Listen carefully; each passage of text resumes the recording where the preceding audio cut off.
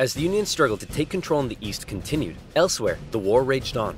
The Confederates attempted an invasion of Kentucky, hoping the state as a whole would join them, but they were pushed back. The Indian Territory saw Native American tribes ally with one side or the other in the hopes of securing rights after the war.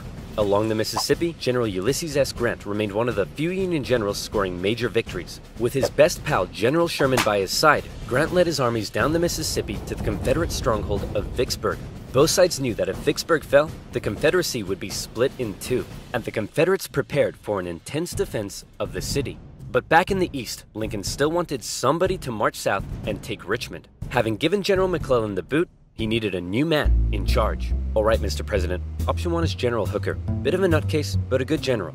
Option 2. His qualifications are his name is Burnside and he has freaking dope ass sideburns. Say no more. So General Burnside was put in charge of the Army of the Potomac and sent south. Lincoln hoped he finally had a general who could succeed. Burnside met General Lee at the city of Fredericksburg, where he intended to rapidly cross the river and take the city. But the Union War Department was too slow in delivering the pontoon bridges, and the two sides were forced to camp across from each other, close enough to speak. Hey, Yankee, Ready to get your butt kicked? Yeah, right, Rebel. God is on our side. No way, God's on our side. Oh, you think so? Well, why don't we ask him? Hey, God, whose side are you on? Ow.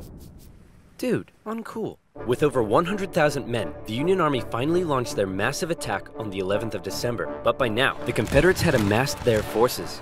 During the battle, wave after wave of brave Union men marched headlong into a brutal Confederate onslaught. Even the Confederates couldn't believe what they were seeing, and in one moment of camaraderie, a Confederate sergeant, unable to take it, reportedly came out into the field to tend to the Union wounded. Seeing this, the Union troops held their fire. Still, Burnside and his forces were soundly defeated at Fredericksburg and forced to retreat. Lincoln's popularity and Northern morale continued to plummet, especially as the winter heading into 1863 was bad. The winter camps were rife with disease, the food was less than appealing. On both sides, men began to leave. Hey, where do you think you're going? I'm deserting. What? Don't you love your country? Yes, I do. And I'm trying to get back to it as quick as I can. Lincoln, ever the kind and caring man he was, spent much of his time pardoning deserters' death sentences. Oh my, here's a 17 year old boy sentenced to be hanged. Well, I'd better suspend his sentence. Or he'll be suspended tomorrow. Oh. what? To try to keep the numbers up, both sides had introduced conscription. There was controversy in the North, however, since rich men could simply pay to have someone else fight on their behalf. Riots broke out in New York City, with enraged mobs furious at the idea of going to fight for slaves, an idea that many of them simply did not support. However, after so much pressure, the Union had finally begun allowing black men to enlist, and these men, knowing what they were fighting for, signed up. By the end of the war, nearly 200,000 troops, 10% of the Union Army, would be black. The valor and bravery they showed throughout, silencing critics. Okay, well, that last guy was useless. Let's try this Hooker fellow. General Joseph Hooker was put in charge of the Army of the Potomac, and once again, Lincoln ordered him to move south and take Richmond. Hooker met Lee at the Battle of Chancellorsville, where Hooker had over twice the men Lee did. Lee was forced to defy all military convention and split his smaller force into two, Lee had absolutely no chance of winning, and Lee won. It was his masterpiece. Lee did suffer one significant loss during the battle, though. As his right hand man, Stonewall Jackson, was riding back to the Confederate lines at night, the nervous Confederate troops, unable to recognize him, opened fire. You boys done goofed up. Jackson died eight days later. As for Lincoln, he couldn't believe it. It was yet another loss, and Northern support continued to waver. While the Union kept on struggling in the East, out west, unconditional surrender Grant was making moves as always. In an attempt to take Vicksburg on the Mississippi, he made a series of risky and bold movements. He sent a cavalry raid and feigned Sherman north to confuse the enemy. Then, aided by a fleet of ironclads on the river, he raced his army south to cross the Mississippi. Aware that the terrain to the north was restrictive, instead, he strategically moved northeast, hitting Vicksburg's supply line and defending his rear from Confederate armies in Jackson. Once he reached Vicksburg, the Confederate defense became hardened, and Grant was forced to settle in for a month-long siege, during which time he got rather bored. Despite not taking the city, Lincoln loved it and encouraged Grant to hold firm. It would only be a matter of time before the Mississippi was in Union hands. Around this time, the people in the west of Virginia, who had remained loyal to the Union throughout, finally broke away to form their own state. They could have named it anything in the world, but the creative minds at the time came up with the ingenious West Virginia. Back in Washington, Lincoln once again wanted a new general to take command. Oh my goodness, why do all these 19th century generals look so bust? Look, we got Sleepy Eyes Joe here. That's Princess Leia with a mustache. E.T. phoned the doctor. Fine, why don't we give Snapping Turtle McGee here a shot? So General Snapping Turtle McGee was put in charge of the Army of the Potomac, and it was a crucial time for the Union, because once again, the Confederates decided to go on the attack. So far, they had done exceedingly well militarily, but as the war kept going, the Confederate economy was crumbling. Riots broke out in the streets of Richmond as the price of bread skyrocketed. Supplies were dwindling. Jefferson Davis wanted to send men west to rescue Vicksburg, but General Lee knew the longer the war lasted, the worse their chances got. And he still hoped if he could just threaten DC, the already demoralized North would surrender. So in June 1863, with the momentum behind him, General Lee once again entered the North, fighting his way through Maryland and into Pennsylvania. General Meade set out to meet him for what would be the most significant battle of the entire war. If the Confederates won, DC could fall. If the Union won, it would be a turning point as the Confederates would run out of steam, and the small town that was to get caught up in the crossfire of the largest battle in American history was Gettysburg, Pennsylvania. On June 1st, units from each army encountered one another and skirmished through the town itself. The townspeople were forced to take refuge, except for one man who reportedly ran outside for a strange reason. Joseph, what are you doing? I'm not gonna let them take my beans! How many times do I have to tell you they're not here for your beans? By the second day, over 100,000 men stretched for miles across the battlefield. Lee took the initiative, deciding to hit the enemy's flanks, and he came very close to breaking through the Union's disorganized left. But Union Colonel Joshua Chamberlain ordered a desperate bayonet charge, smashing into the Confederates and forcing them back.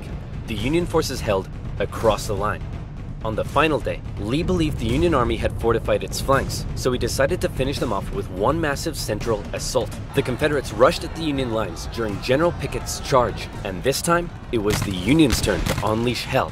Meade had correctly guessed Lee's strategy, and the Confederates were decimated, forced to turn and flee. A devastated General Lee called out to his fleeing and wounded men, telling them it was his fault. And after holding for a counterattack that never came, he ordered a retreat back into Virginia. The North had just managed to score a massive victory, and one they desperately needed. And if that wasn't enough, in the West, after a month long siege, Vicksburg finally fell. The North now held the Mississippi. And better yet, it was the 4th of July.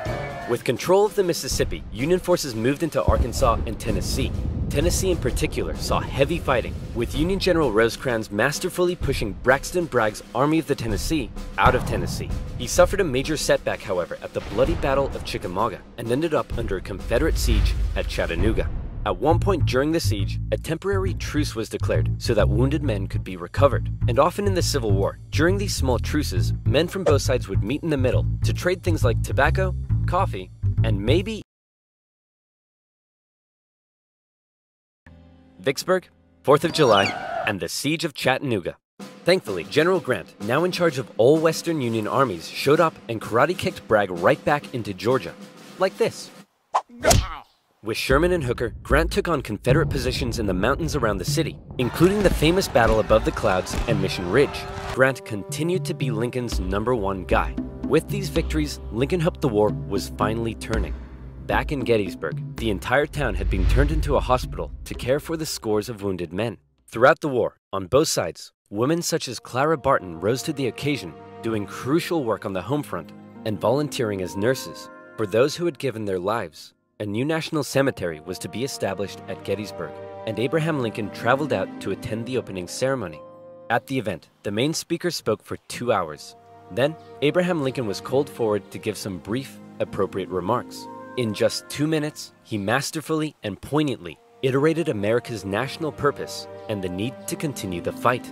The Gettysburg Address would become one of the most famous speeches in American history. While they were now making progress, the North still couldn't find a decisive victory in the East.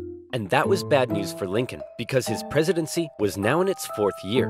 In 1864, there was an election coming. The Confederates knew this too, and with little hope left of being able to threaten the North militarily, they believed their last shot at victory may be in the election, since Lincoln, emancipation, and the war itself weren't exactly popular. People in the North were sick of war and wanted to put it behind them. Robert E. Lee hoped that if he could just hold out and continue to inflict more defeats, the people of the North would vote Lincoln out and replace him with a Southern sympathizer who may be willing to negotiate. Lincoln knew now he desperately needed a victory.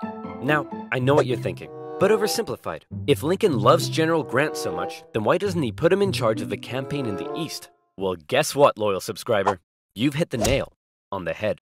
You're bold, Grant. I'll grant you that. I'm promoting you to General in Chief, and I ain't taking you for granted. Now I want you to go defeat Lee. Grant me my wish. Please stop. So Grant was put in charge and he came up with a new plan. He wanted to press the Confederates on all fronts, with General Banks to capture Mobile, Alabama, General Sherman moving south to Atlanta, and Grant joining the Army of the Potomac as they advanced through Virginia. In May 1864, that plan went into action.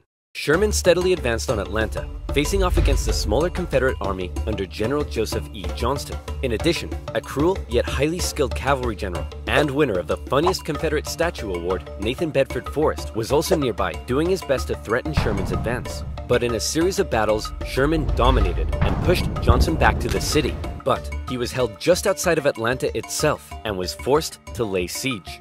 Meanwhile, the main show was happening to the east in Virginia, the Union's top general was finally about to face off against the Confederacies. Lincoln hoped Grant would bring something new to the Eastern Theater, and bring something new he did. As Grant began moving south, Lee still regularly outmaneuvered him and inflicted heavy casualties, hoping to demoralize the North as much as he could. But here's what set Grant apart from others. He knew Lee was running out of men and that the North by comparison had plenty. Grant would throw his forces at Lee, and even when Lee repelled them, Grant, rather than pulling back, would give the order to keep moving forward and flank Lee, again and again. In under six weeks, 80,000 men would be killed, wounded, or missing. In DC, Grant was criticized for being a butcher. At the Battle of the Wilderness, the Union casualties were so heavy that Grant reportedly began to weep. But still, Grant could replace his losses. Lee couldn't, and he was being pushed all the way back to Richmond. Lee knew once he got there, he'd be under siege. Then it would only be a matter of time. Close to Richmond, Grant again suffered horrific casualties in a miscalculated assault at Cold Harbor.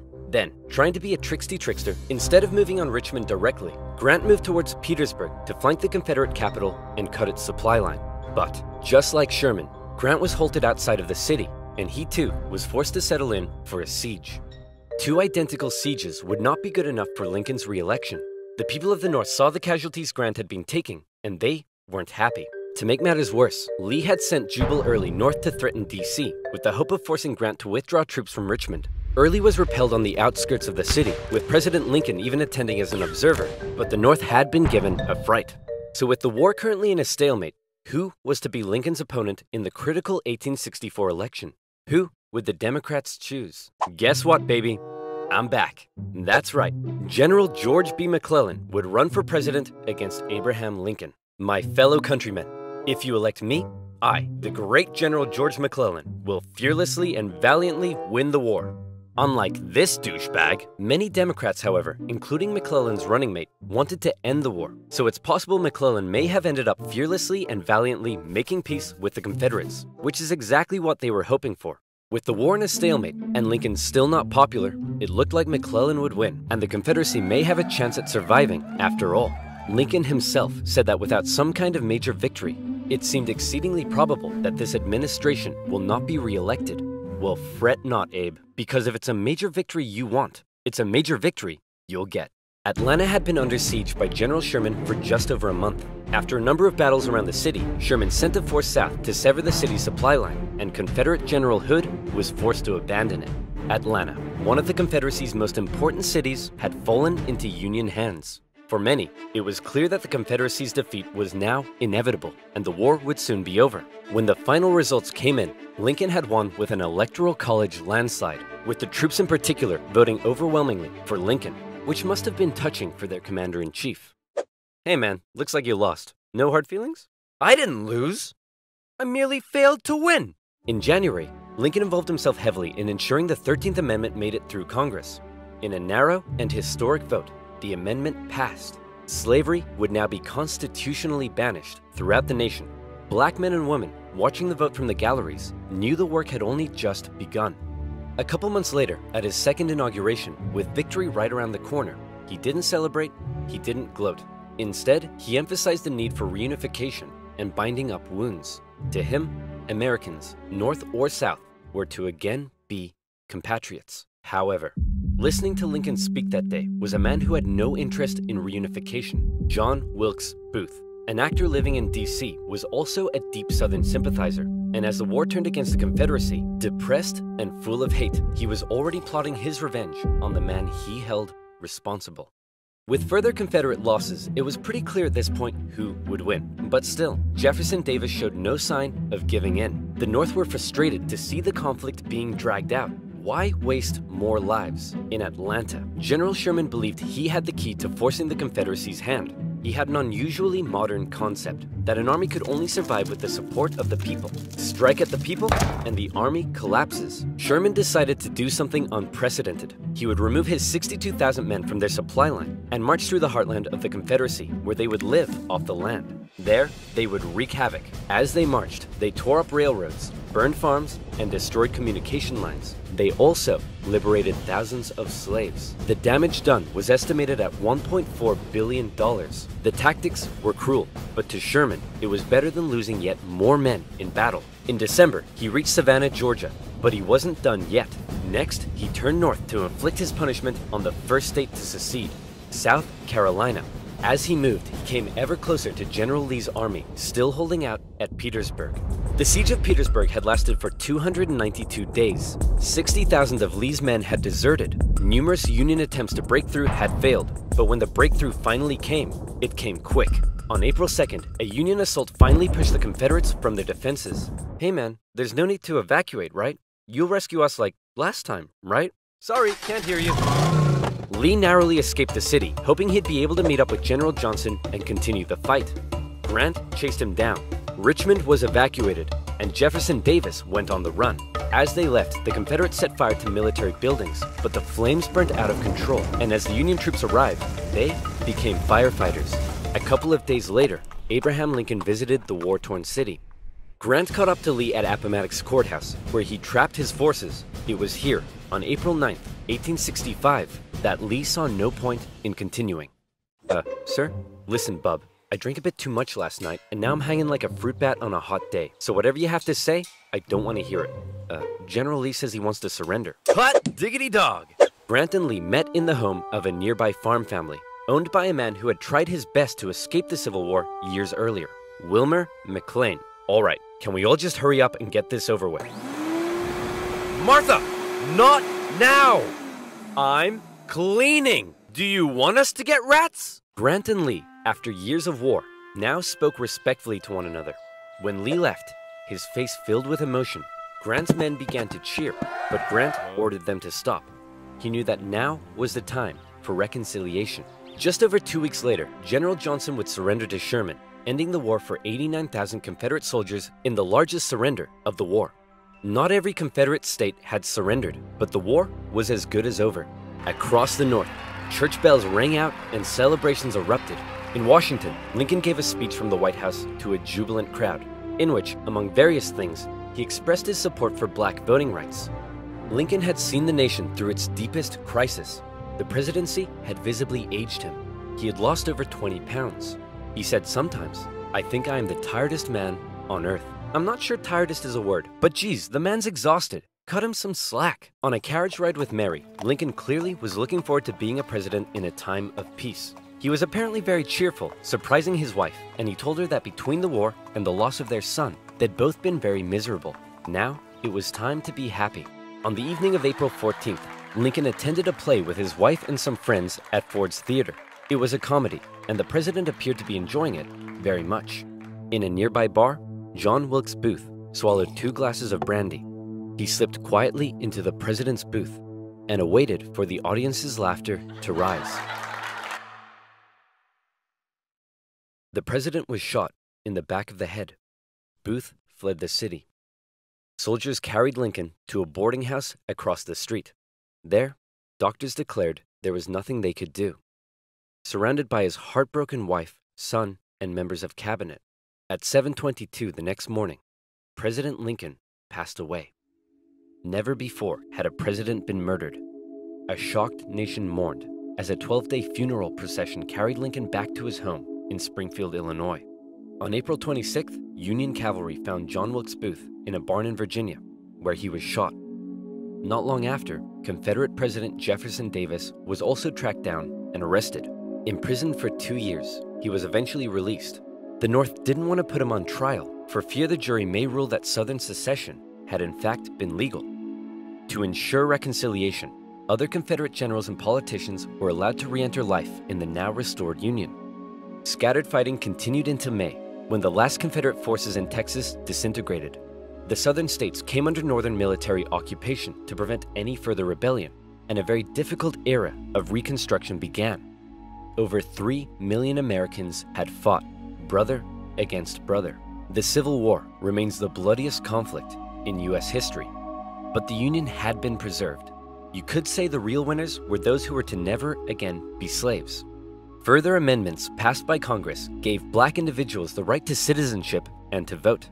Significant progress had been made. However, entering into the 20th century, it was clear the fight for equality would continue. In modern America, the man who fought to preserve the nation and never gave up in the darkest of times stands as a symbol of honesty, empathy, humility, perseverance, and courage a continuous reminder of what has forged America and what it should ever strive to be.